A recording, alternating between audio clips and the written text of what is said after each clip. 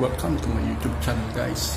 Today we're going to fix LA issue of Dixell control. Okay guys to fix this one it's very easy. It's only one parameter to change. Okay. Watch and learn guys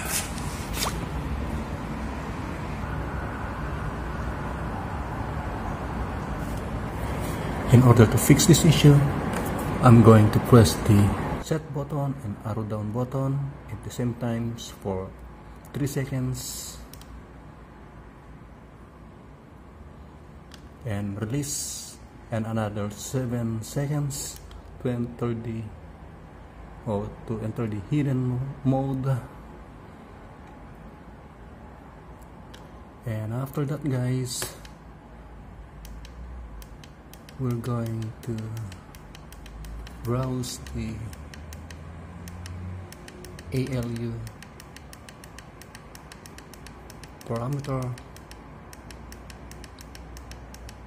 Uh, this issue guys is I'm sharing to you because one of my codec is okay under here there the value is negative 3 okay. Why this happen? Because the value is very high.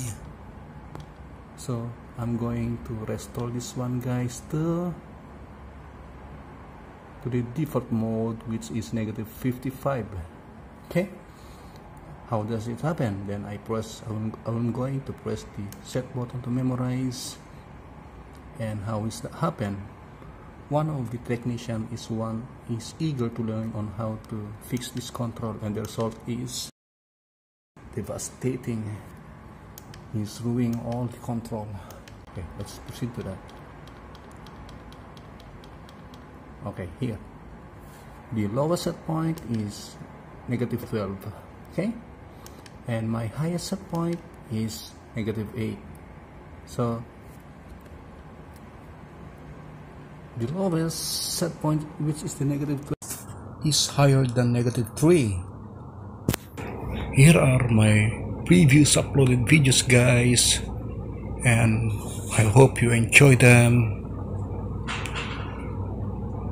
If you like this video guys please don't forget to like share and subscribe. And don't forget to hit the notification bell. I've been try my best to teach the new technician out there, reaching them globally. And as a proof, all of them is asking me question about their problem on control. And may this help you guys enjoy watching. Thank you and God bless.